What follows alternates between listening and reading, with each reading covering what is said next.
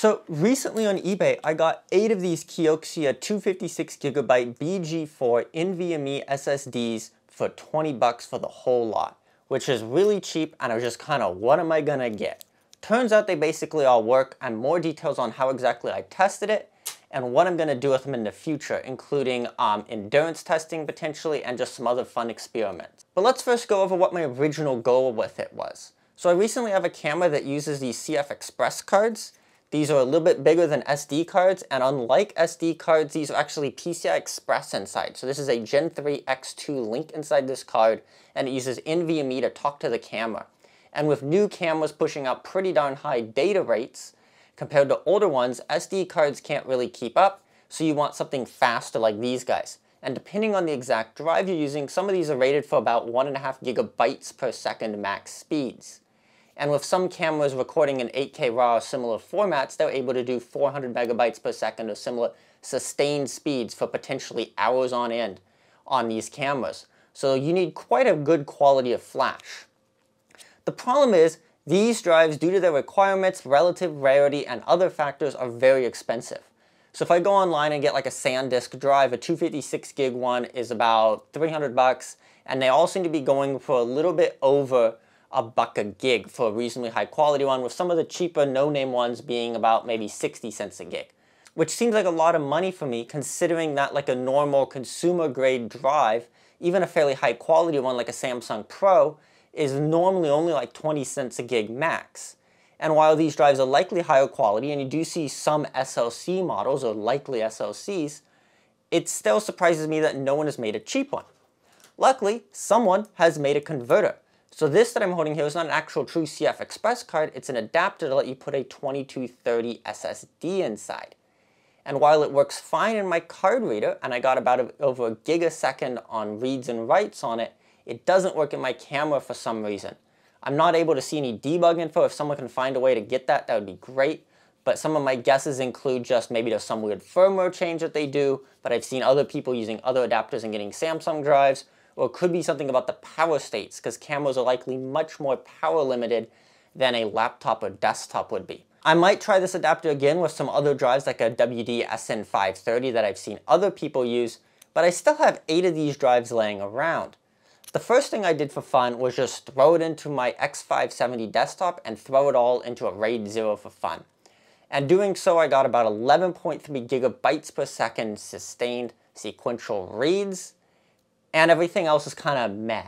Um, the problem with these drives is these are what they call BGA drives. So if you look at the package, you really only see one actual chip on it, compared to a lot of other NVMe drives like this guy here, where there's a controller, DRAM, and NAND flash.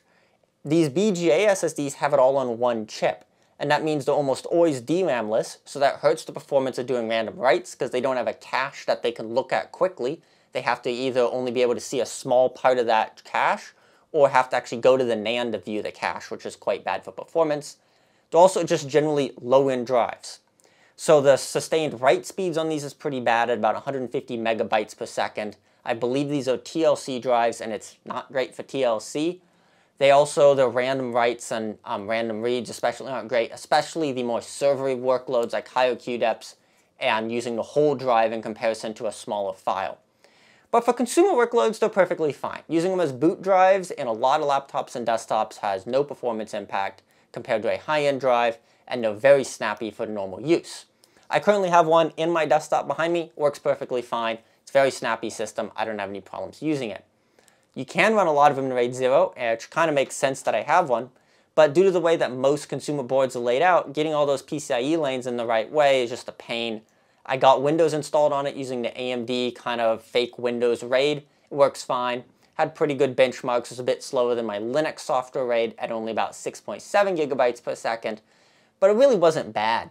Um, but the problem is it's comparable to a standard Gen 4 SSD these days, so I don't really see the point of using it. So now on to what my plan with these drives are. Because I have a lot of nearly identical drives, I want to run a test that I have yet to see anyone else really do out there which is a endurance test on basically identical drives. From looking at the smart data and everything else I can see in these drives, they seem to be essentially brand new. The smart data on all of them when I got them reports less than 100 gigs written, and the data that came on the drives looks like a Dell OEM image.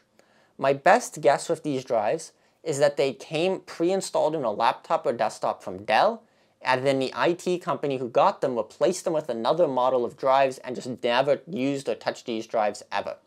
I tried booting them up on my system to test it just for fun, and it boots fine, and I get all the little Dell messages as a Dell software and just had a copy of Windows 10 on it. So it looks like, to my knowledge, these are new drives. I can't be 100% sure, but I'm pretty sure these are essentially new, which is great for endurance testing. Because I've seen a lot of great endurance tests like the ones the Tech Report did, where they did a lot of writes on SSDs and saw when they failed.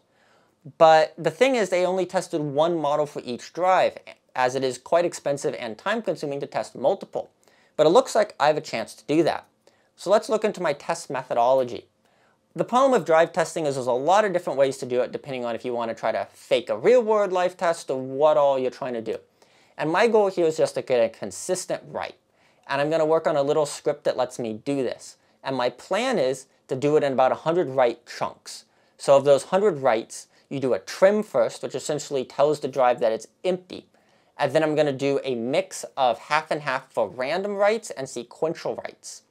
With the way that SSDs work, they treat random and sequential writes differently when it comes to how the endurance works. And some enterprise drives actually list a different spec for random write endurance and, ran and sequential write endurance because writing sequentially allows for much higher writes as there's just less overhead and stuff happening under the hood that causes more endurance to actually happen than the data that you've written to it in the OS.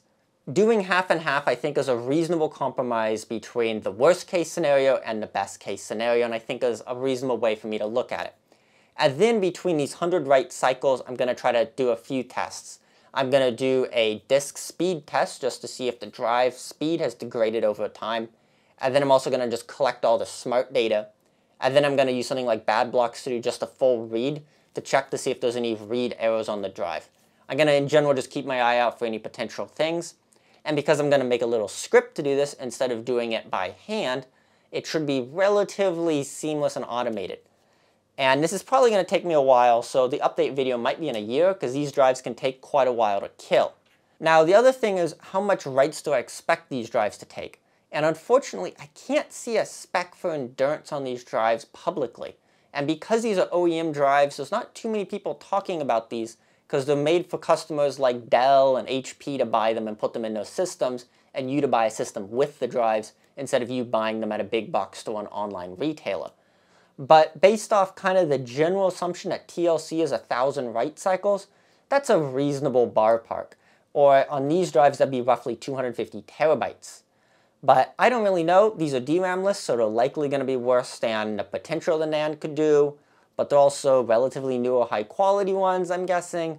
So I'm going to just guess that probably a thousand would be a reasonable guess to start out with. Now doing some napkin math, I can get about two full writes on this drive every hour. So doing a thousand write cycles on these drives would take roughly 20 days. But seeing how the tech reports writes went way over what they expected, I wouldn't be surprised if it takes me a few months to kill each drive. And because I have relatively limited computers to do testing with, it's probably going to take me a while to kill all these drives, so don't expect the follow-up of how these drives went, but I will take a lot of data and I will try to publish that video as soon as I can. So I'm really looking forward to the results. And thanks for watching this little video of my little story of the CF Express cards and just my lot of lots of little SSDs I guess I get to do endurance testing with. Also, if you guys know any good public resources for other SSD endurance, I'd love to see it. I've looked a good amount on public testing websites like AnandTech and TechReport and others. There's relatively little, likely because it takes a while and it destroys a perfectly good drive. I'm guessing lots of companies have done it, but a lot of that data seems to be private or I can't find it out there. If you know how to get that, let me know. I'd love to see more info on this stuff.